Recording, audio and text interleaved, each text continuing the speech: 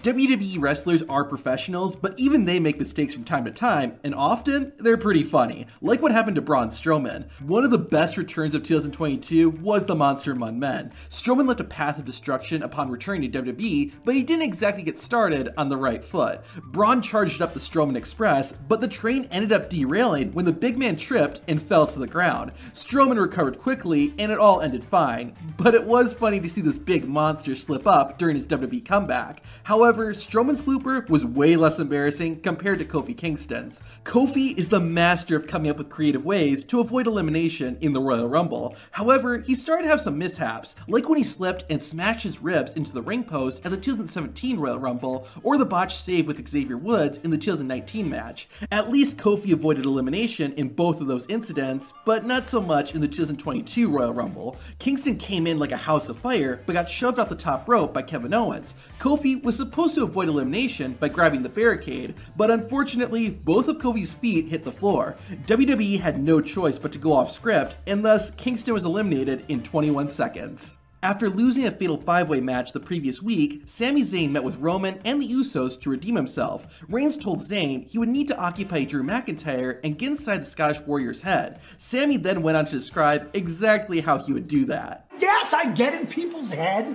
I make myself comfortable in there. I'm doing a little dance. You can't. That's the dance you do. That's I'm in his head doing the dance. Yeah, right. I don't know if Sami Zayn's dance got in Drew McIntyre's head, but it certainly got into Roman's and the Usos, causing them to laugh and break character. This wasn't the last time Sami did this either. About a month later, the entire bloodline all came out to the ring. Jey Uso began to lash out at Sami Zayn, leading to a tense stare down between Roman and one half of the unified tag team champions. Sami managed to defuse the situation, but did his job a bit too well. Lately, he just hasn't been very oozy. An Usi chant immediately started coming from the crowd, and it took over 40 seconds before Roman was able to get his composure back. Stone Cold Steve Austin returning for one more match on the first night of WrestleMania 38 was awesome. He had a fun fight with Kevin Owens, but what happened to Austin the next night was fun for a different reason. After Austin Theory's match with Pat McAfee, the chairman of WWE, Vince McMahon, decided he wanted a shot. With a lot of help from Theory, McMahon won and added a new WrestleMania moment to his career. Unfortunately for Mr. McMahon, his moment didn't end there. Vince's old rival, Stone Cold Steve Austin, came storming out and unleashed a can of you know what on Austin Theory. Of course, Austin wasn't leaving the ring without giving McMahon a stunner, but Vince, for whatever reason, stumbled around the ring, leading to a very awkward Stone Cold Stunner. I guess some things just never change. Also, it was funny to see Vince McMahon get freaked out when he heard Theory's music hit. In January 2022, the Raw Tag Team Champions, Chad Gable and Otis, faced Randy Orton and Matt Riddle in what was called the Alpha Academy Academic Challenge. If RK Bro won, they would get a championship rematch against Gable and Otis. The first part of the challenge was a spelling bee, and Otis started it off. The big man was always kind of like the 24-7 championship, but even I will say that it outstayed its welcome. Thankfully, WWE finally decided to retire the belt, but it led to a hilarious blooper. On Raw in November 2022, Nikki Cross took on Dana Brooke with the 24-7 championship on the line. Cross won the match and the belt after about a two minute fight. Shortly after that, this happened. Cross tried to throw the 24-7 title in the trash, but missed. There's something kind of poetic about this being the final image of that championship. WWE might be a multi-billion dollar company, but its prop department needs an increased budget. Why do I say that? Well, let's look at the main event of the July 8th, 2022 SmackDown. Drew McIntyre faced Butch with Sheamus and Ridge Holland at ringside. Despite the odds, McIntyre won the match. Sheamus, though, tried to get a piece of the Scottish Warrior, leading to Drew taking a swing and cutting the top rope in half. It turns out WWE's ropes put up quite the fight because Drew's sword, Angela, bent. Ironically, this isn't the first time Drew has had a weapons malfunction. Challenge! Oh, here's Angela! He will have an opportunity to challenge! McIntyre wasn't the only one who experienced a prop malfunction in 2022. On NXT, Roxanne Perez took on the women's champion, Mandy Rose. It looked like Roxanne had Rose defeated, but an attack from behind by Perez's tag team partner, Cora Jade, prevented that from happening. Jade didn't stop there and went to smack her former friend with a skateboard, but the board broke in half before it touched Roxanne. It sort of took away from the evil heel turn, but it was kind of funny to see. Speaking of NXT, during the March 8th, 2022 episode of the show, Bron Breakker, Tommaso Ciampa, and Dolph Ziggler fought it out in a triple threat match. During the physical battle, Ciampa lifted Ziggler up on his shoulders. Bron was supposed to break it up, but completely biffed it and missed his target. Thankfully, it was only a small mistake, and the match continued as planned. Still, it was a pretty funny moment seeing Breakker miss like that. After Montez Ford insulted the Usos, Roman Reigns demanded a match against him. While Roman Reigns was a huge opponent, Ford brought plenty of fight. At one point, both wrestlers found themselves outside of the ring. Ford climbed onto the announcer's table, only for the table to collapse instantly. Montez Ford just standing there after it happened was totally hilarious. The match quickly got serious again, but everyone had to stop and laugh when they saw this happen. One of the biggest upsets of the year was when Matt Riddle defeated former WWE Champion Drew McIntyre. That was an amazing moment, but there was one other moment during that match that was amazing in its own way. McIntyre hit Riddle with the Michinoku driver, but he accidentally pulled Riddle's shorts a bit too high and exposed his opponent's backside.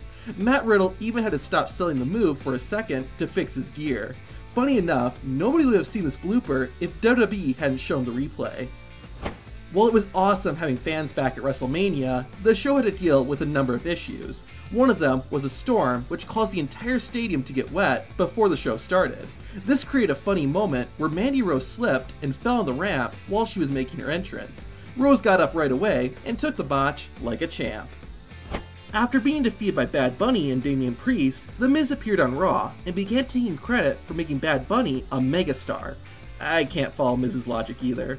Anyways, Damian Priest came out to call out Miz on his crap and ended up challenging both The Miz and John Morrison to a match.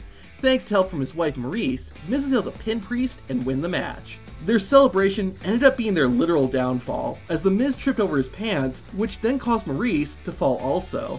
An unfortunate way to end the night for Miz and Maryse, but I'm sure Damian Priest felt a little better after it happened. Days before the WrestleMania matches, the Raw Women's Champion Asuka and the United States Champion Matt Riddle met up backstage for a chat. Riddle was talking to Asuka about a scooter, and then this happened. Do you think scooters are big in Japan? Yeah, yeah, yeah, yeah. Yeah, you think? I'm sorry, I forgot what I was saying. Matt Riddle forgot his lines on live TV and just walked off. I guess when you can't remember what you're supposed to say, you have to leave somehow. At Extreme Rules, Sheamus defended his United States Championship against Jeff Hardy and Damian Priest. Priest in particular was a powerhouse during the match, but despite being a serious competitor, Damian Priest had a pretty funny slip up. While standing on the ring apron, Priest fought out of the 10 beats of the Bodhrán, but he unfortunately lost his grip and fell onto the floor. Priest recovered well, but it was pretty funny to see Damian Priest fall on his butt like that. Nia Jax had been slamming Lana through tables for weeks, so the only way to settle this rivalry was to have a tables match. Lana was at a disadvantage, but her speed allowed her to stay alive. At one point, Nia Jax was about to hit her opponent with a leg drop, but Lana rolled out at the last second, causing Jax to hit the edge of the ring full force. The funny part was Nia Jax's reaction. The first Money in the Bank ladder match at WrestleMania 21 was not without problems. During the chaotic fight, Kane went to chokeslam Shelton Benjamin out of the ring. Unfortunately, Benjamin's foot got caught in the rope and he was stuck. Luckily, a referee helped get the gold standard out of this pretty hilarious situation. Goldberg vs. Brock Lesnar at WrestleMania 20 was one of the worst matches in the history of WrestleMania. The only thing that helped make it good was Stone Cold Steve Austin as the special guest referee. The Texas Rattlesnake gave everyone stunners at the end of the match and celebrated with beer, but even that wasn't perfect. As Stone Cold was leaving, one of the beer cans hit him directly in the face. He didn't sell it, but you probably better get some ice on that one, Mr. Austin. The Hardys were one of four teams who were competing for the WWE Tag Team Championship at WrestleMania 18.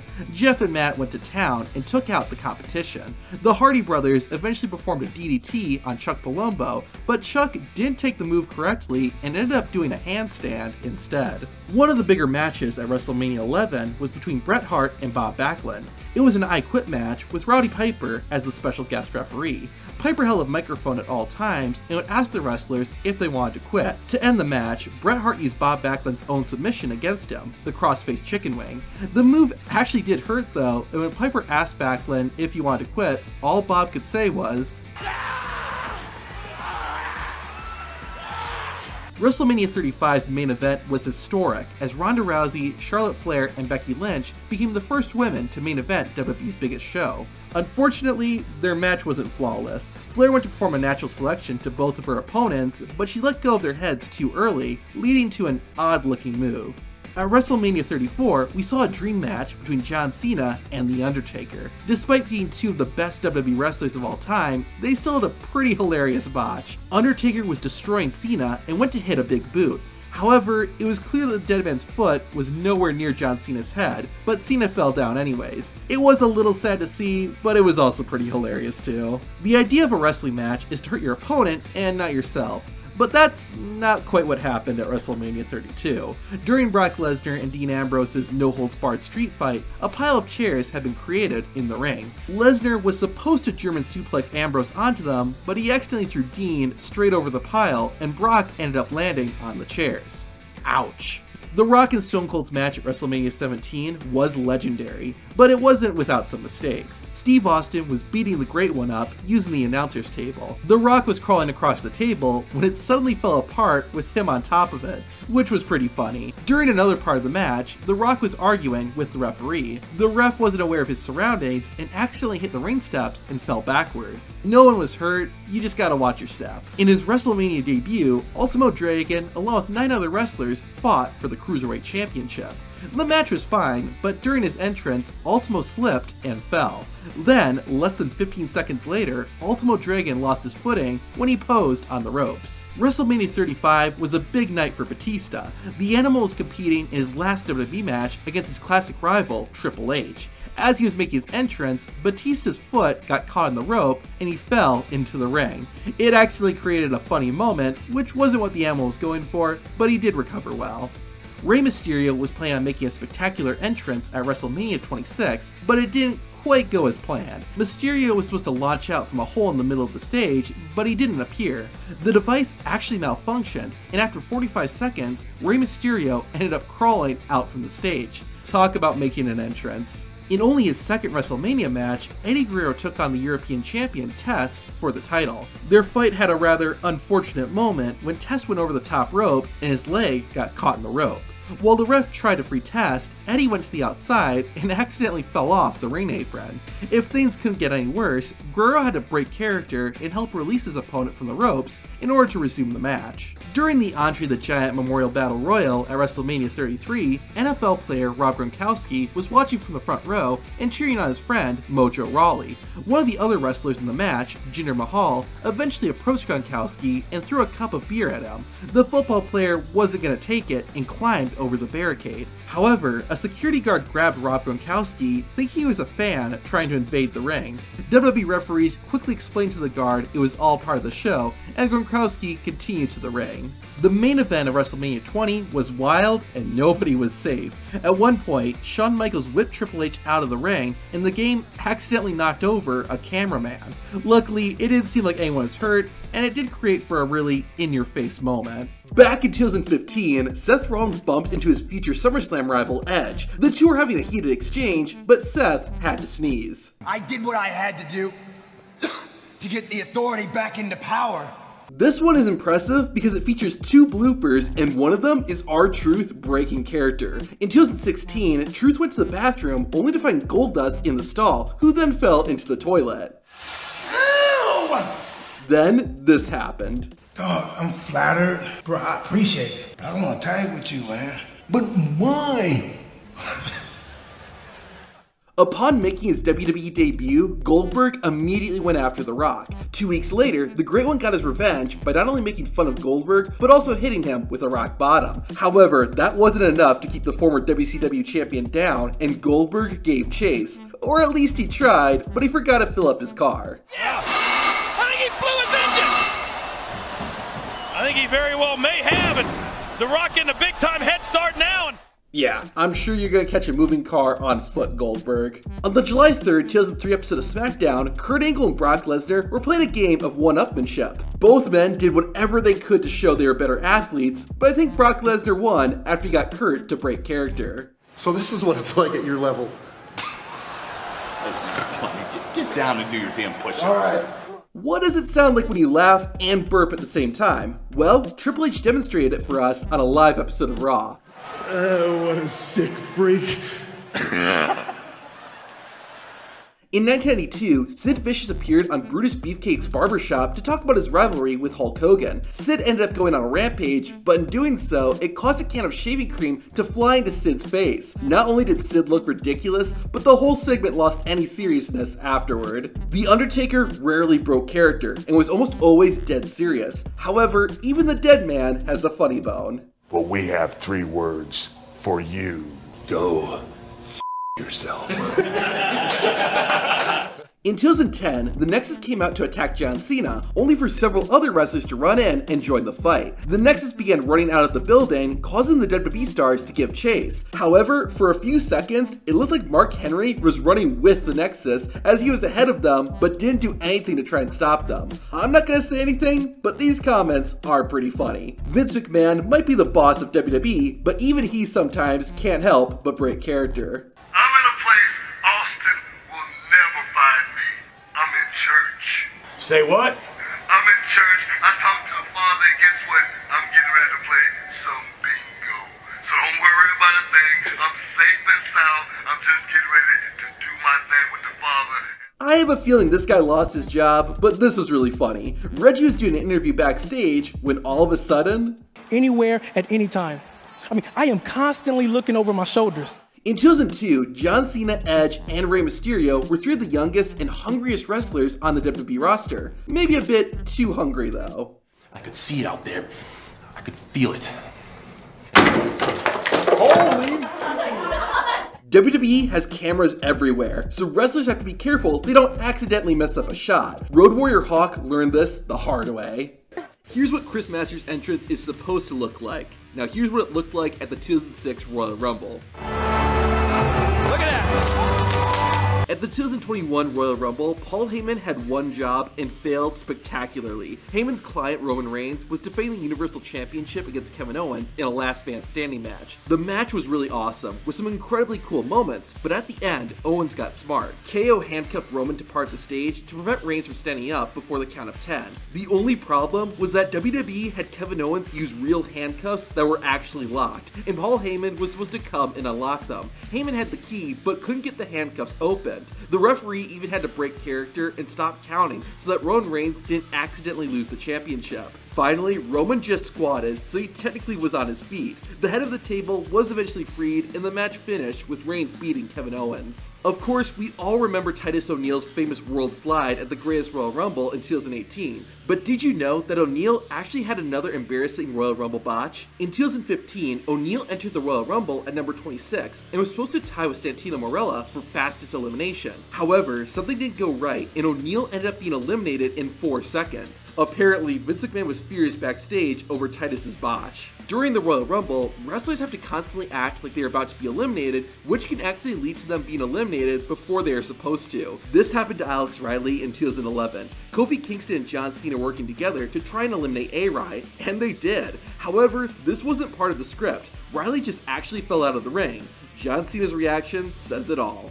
15 years earlier, the same thing happened to Stone Cold Steve Austin in 1996. As the match wore on, the ropes became slippery from all the wrestlers' sweat and baby oil, so when Austin tried to hold onto the ropes, he couldn't and was eliminated before he should have. In 2013, the most electrifying man in sports entertainment took on the current WWE champion, CM Punk. Even though it wasn't a no disqualification match, the fight was brutal, and both men threw everything they had at each other. Not too surprising for a match this physical, but the announcer's table got involved. Both wrestlers got on the table with Punk in control. The Rock tried to quickly counter with the Rock bottom, but the table couldn't support the weight and suddenly collapsed. Luckily, both men were back to their feet soon after and were able to finish the match. Ironically, though, this isn't the first time the Rocks had issues with the announcer's table at the Royal Rumble. Jumping back to 1999, Mankind and The Rock went at it in their now iconic I Quit match. Because of the match stipulation, the two wrestlers end up fighting all over the place. The match eventually found its way to the announcer's table and created a pretty funny moment on accident. With The Rock in control, the Great One got Mankind on the table. Before The Rock could perform the Rock Bottom, the table gave way and both men fell to the floor. Thankfully, it didn't seriously hurt anyone, and Rock and Mankind continued the match. Kind of funny how the exact same thing has happened to The Rock twice at the same event. During the 2001 Royal Rumble, Jeff and Matt Hardy found themselves as the only participants. The two brothers began wrestling each other, and it was all looking good. That was until Jeff tried to dropkick Matt, but didn't connect at all, and Matt still acted like it did. They quickly moved on, but it must have been pretty embarrassing. Three years earlier, at the 1998 Royal Rumble, Owen Hart entered at number 9 and only spent about 2 minutes in the match. He probably would have lasted longer had it not been due to interference by Chyna and Triple H. Once Owen was back on his feet, the Canadian wrestler began chasing after his attackers, but accidentally slipped on the entrance stage. Hart was fine, and it did create a funny little moment. 10 years later, we would see another hilarious blooper at the Royal Rumble. During the 2008 event, WWE introduced their newest announcer, Mike Adamle. While it wasn't bad, Adamle did seem uneasy during the show, but again, it was his first time announcing for WWE. Everyone probably would have forgotten about it, except for one infamous blooper. Mike Adamle was talking about Jeff Hardy's upcoming match, but he instead said this. Another man who's been waiting anxiously with anticipation, his name is Jeff Harvey. Hardy. Ironically, back in his very early days, Jeff Hardy was called Jeff Harvey. In addition to Royal Rumble tables hitting The Rock, they also seem to have something against Mankind or Mick Foley. One year after his I Quit match in 1999, Foley under his Cactus Jack persona took on Triple H at the 2000 Royal Rumble. After fighting and beating the crud out of each other, Cactus Jack brought Triple H over to the Spanish announcers table, and... It's like the table is just playing a mean joke on Mick Foley at this point. Now I'm going to show you that other blooper that WWE has erased from history. In 2004, Rene Dupree was making his debut in the Royal Rumble. He was off to a good start by eliminating Matt Hardy, and then things went downhill.